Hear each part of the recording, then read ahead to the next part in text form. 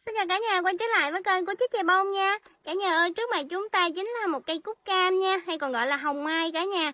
À, Vì sao gọi là hồng thì chút xíu nữa em sẽ gọi cho chúng ta xem Cái đọt của nó sẽ là màu hồng rất là đẹp nha. Đó đây là cúc cam nha cả nhà Hoa rất là to luôn. Ừ, Đây màu cam của cà rốt nha Và đặc biệt là nở bông chùm không nha cả nhà. Đó đây hoa nó tầm khoảng hai mươi mấy cánh Rất là đẹp luôn Màu cam cà rốt nha. À, Vì sao chúng ta gọi là hồng mai cả nhà? Đây hồng mai bởi vì cái đọt nó là màu hồng như thế này nè đó ha màu hoa thì màu cam còn cái lá thì lá màu hồng cho nên người ta gọi là hồng mai. Đó đây à, có những cái bông rất là đẹp luôn. Màu cam ở ngoài của nó nhìn rất là đẹp cả nhà.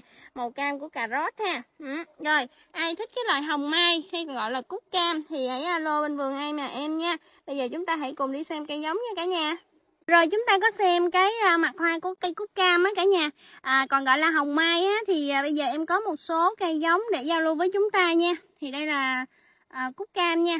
Ừ, Cúc cam nha. Thì à, cây nó không có cao lắm đâu nha cả nhà. Nó chắc tầm khoảng 20 cm thôi nha. Loại này về chúng ta cũng có thể lấy được một ít bo nha.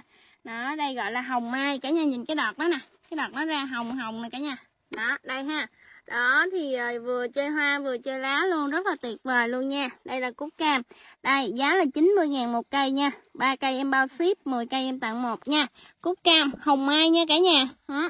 rồi, bên đây thì có cây dảo cam, nở hoa cực đẹp luôn. Đó, cả nhà nhìn thấy ha. Cực đẹp luôn cả nhà. Đó, dảo cam nó thì 8 đến 12 cánh.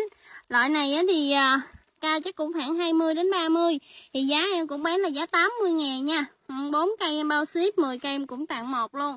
Đó dảo cam rất là đẹp ha. Ừ, chúng ta vừa có cúc cam, vừa có dảo cam cả nhà. Rồi, hàng bên đây là hàng cúc gia định nha.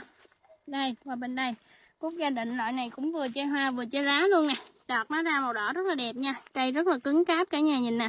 Nó không có cao tuy nhiên cây thì à, nhìn rất là sung nha. Ừ, loại này thì em bán giá 100 ngàn một cây.